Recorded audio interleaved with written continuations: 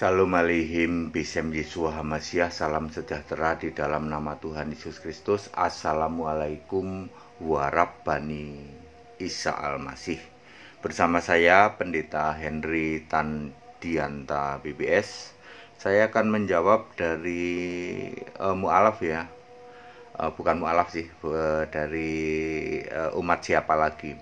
Pak Muhammad Muzakir ini nanya tentang bagaimana pendapat Pak HTD dengan channel-channel Kristen. Jadi judul kita adalah membahas channel Kristen, saudara-saudara.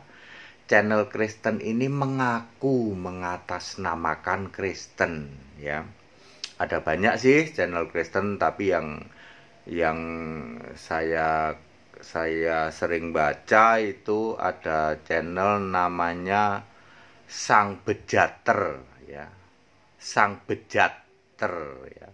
Karena bejat lalu sekarang ganti menjadi sang pendusta.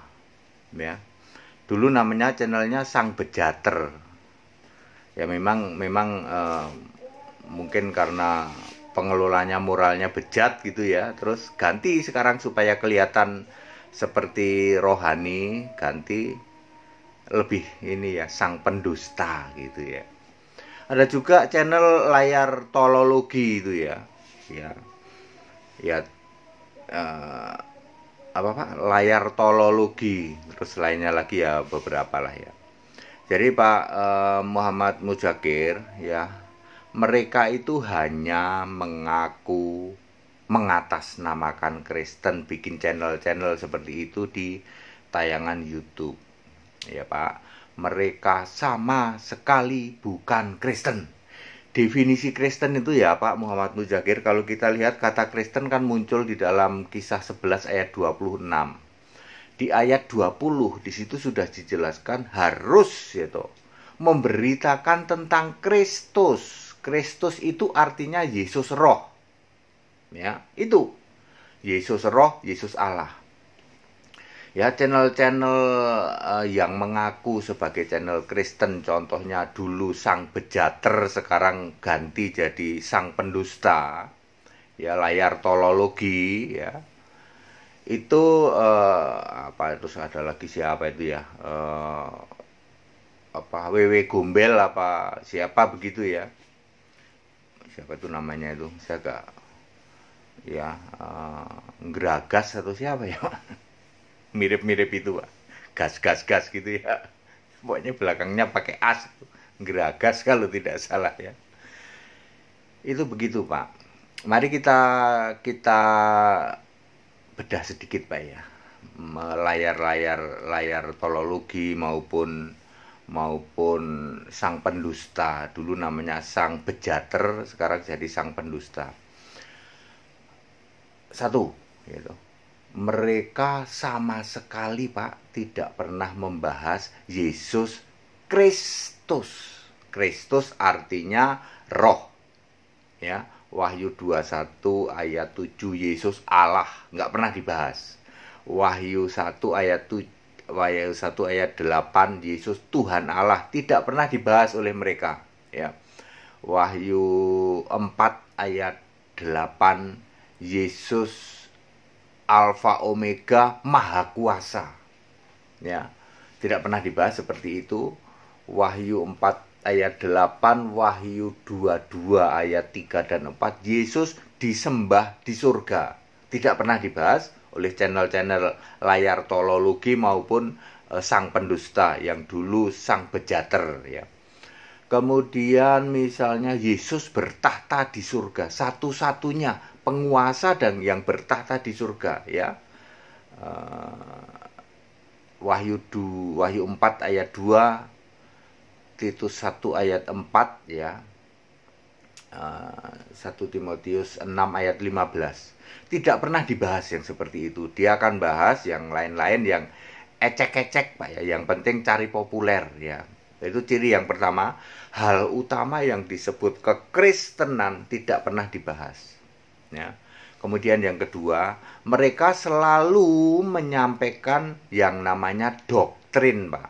Doktrin itu tidak ada di Alkitab, tetapi eh, apa? Eh, karangan mereka, ya doktrin-doktrin dari gereja dari uh, ter, dari anusnya Tertulia ya kemudian dari uh, Calvinis dari Martin Luther ya itu doktrin semua yang disampaikan tidak ada ayat Alkitabnya ya mereka selalu terjebak di dalam yang namanya uh, konteks waktu ayat Alkitab. Kalau toh dia pakai ayat Alkitab yang dia pakai Yesus waktu masih jadi manusia. Yesus masih menyembah, menyembah Bapa, yaitu Yesus masih sujud pada Bapa, Yesus masih doa pada Bapa, Yesus nyuruh baptis Bapa Anak Roh Kudus, Yesus nyuruh doa Bapa kami. Masih terjebak di situ, Pak. Ya. Jadi yang dia dia sampaikan pasti itu, Pak Kemudian yang ketiga, memang e, sifatnya konfrontatif, Pak. Tiga hal channel itu ya. Tiga hal saja mengenai konfrontatif, ya. Dia membahas yang murtad, ya, dari dari muslim pindah ke sini terus dibahas itu kenapa dia nggak concern muslim jadi murtad murtadnya ke mana murtadnya misalnya nih sorry ya murtadnya ke katolik katolik kan nggak nyembah Yesus apa bedanya dengan dulu sebelum murtad? Nggak pernah dibahas kayak gitu, Pak. Dari muslim pindah ke gereja kurang iman atau gereja sikara lama raba-raba. Lama-lama enak juga, makin diraba-raba makin terasa. Misalnya seperti itu. Ya, gereja sikara lama raba-raba kan nggak nyembah Yesus. Yang disembah tetap Bapa.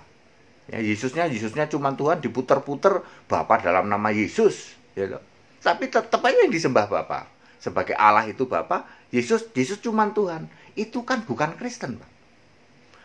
Dia membahas itu orang orang murtad ya terus apa lagi?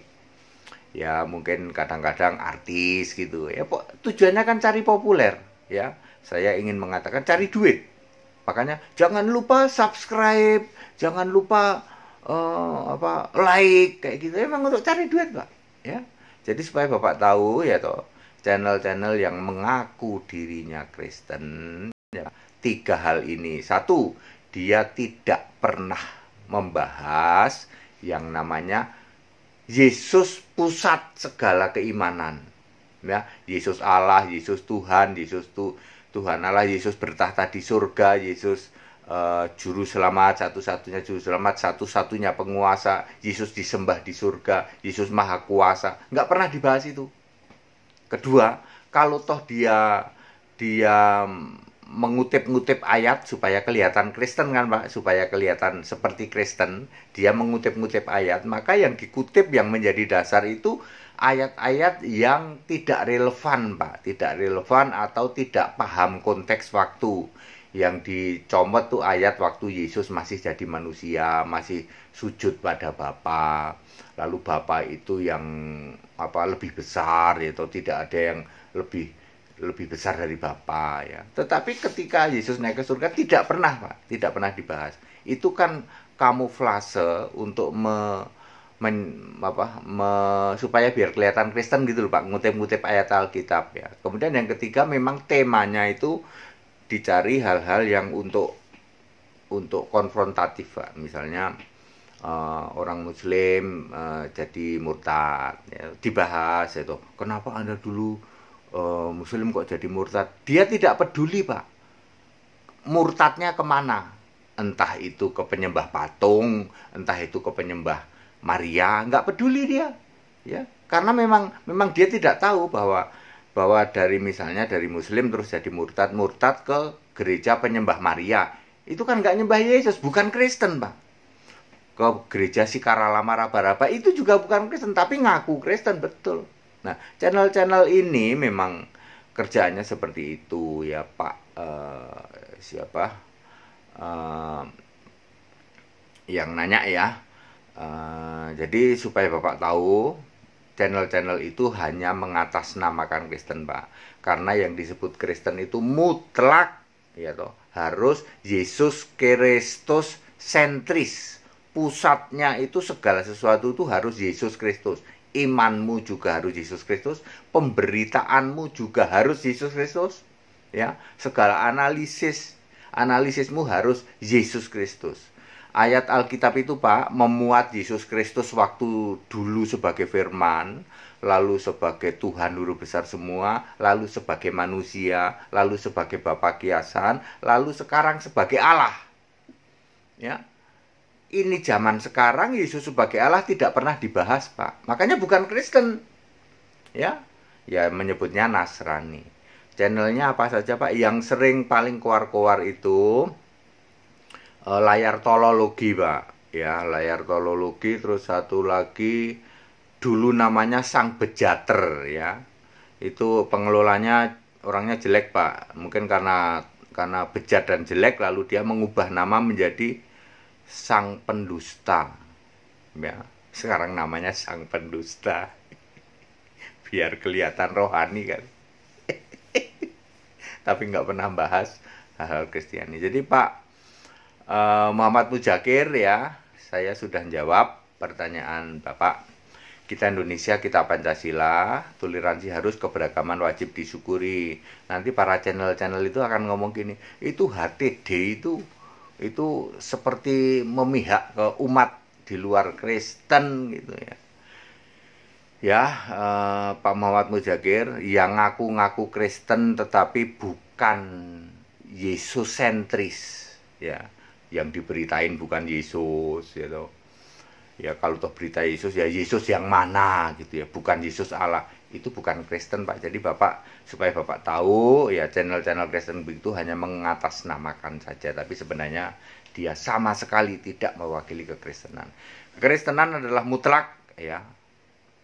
Kristus sentris namanya juga Kristen yang percaya Yesus Kristus, beritanya tentang Yesus Kristus, imanmu tentang Kristus ya.